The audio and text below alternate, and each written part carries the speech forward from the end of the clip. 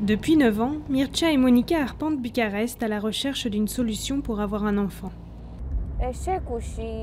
Les échecs et le temps qui passe me détruisent de plus en plus. Je n'ai plus de patience, mais je voudrais tant un enfant.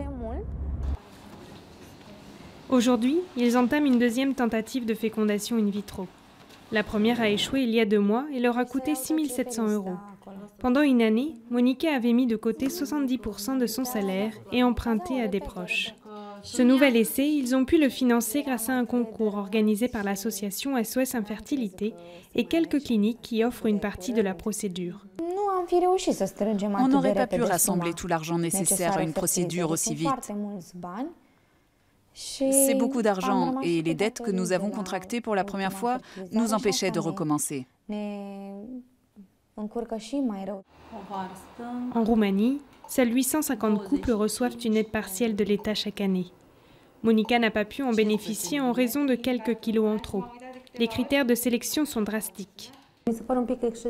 Cela me semble excessif. Très peu de patients répondent aux critères du programme établi par l'État.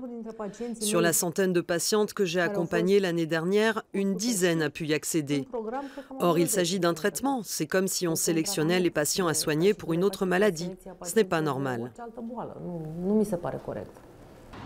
Contrairement à la plupart des pays européens, la Roumanie subventionne un seul essai de fécondation in vitro.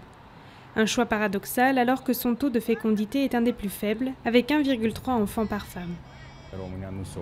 La Roumanie ne s'attaque pas de façon stratégique et cohérente aux problèmes de natalité. Nous n'avons pas de programme pour soutenir les familles nombreuses. Ce sous-programme est le seul qui apporte une aide même si les résultats sont limités. Pour des milliers de couples comme Monica et Mircea, ce désintérêt des autorités s'ajoute à la pression de la société.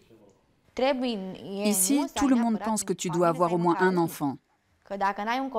Parce que sinon, tu n'es pas accompli. Tu n'as pas de raison de vivre ou de travailler.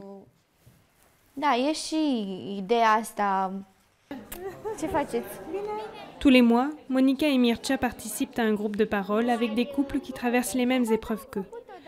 D'ici le printemps, Monica espère tomber enfin enceinte.